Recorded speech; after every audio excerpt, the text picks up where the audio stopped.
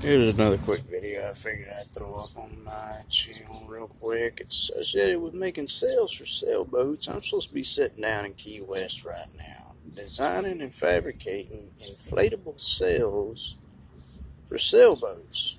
I should. I should be sitting down in Key West designing and fabricating sails for sailboats that are inflatable and they're like multi-purpose. They serve more than one purpose. They're not just a sail. It's a sail that can unfold into a big, huge kite, and that can be used as a life raft. It's one sail, but it unfolds and can be fabricated to be just a regular sail that inflates, so you can catch more wind when there's not that much wind.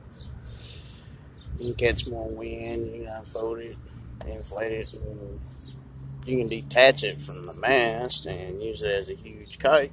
but yeah, there I am soon I mentioned. People riding by with hundred thousand, two hundred thousand dollar luxury vehicles. Two Mercedes and a freaking Maserati it looked like. That's one of have right there, just a roof. I can't see it. Just drove through there. But yeah, this is just another quick video of a proof of concept on my products that I come up with. That's the latest one. Inflatable masts and inflatable sails. And the sails are multi-purpose. Uh, I'm going to have to hurry up. It's running out of storage, I think. But yeah, I'm supposed to be sitting in Key West right now $5 million designing and fabricating sails for sailboats that are inflatable. And they, they can unfold. You can use them as a huge uh, kite. Have two of them, use them as a life raft at the boat, boat scene so you can inflate them and use them as a life raft. Use the other one to catch wind and try to get to shore.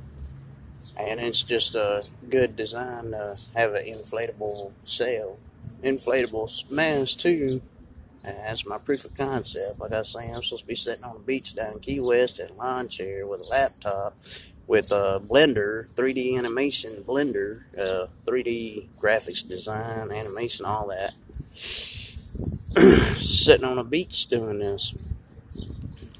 Get some, uh, get some of those office inkjet printers and repurpose them to be able to cut out the design literally get some inkjet printers out of the trash and dismantle them and put them on a bigger tract so that the inkjet printer can cut out sails for sailboats and then put the pieces back together and resew the pieces back together.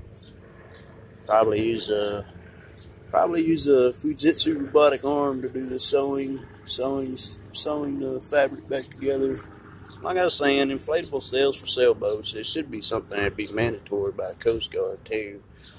On top of all that, be mandatory by the Coast Guard to have them. Alright, that's another video.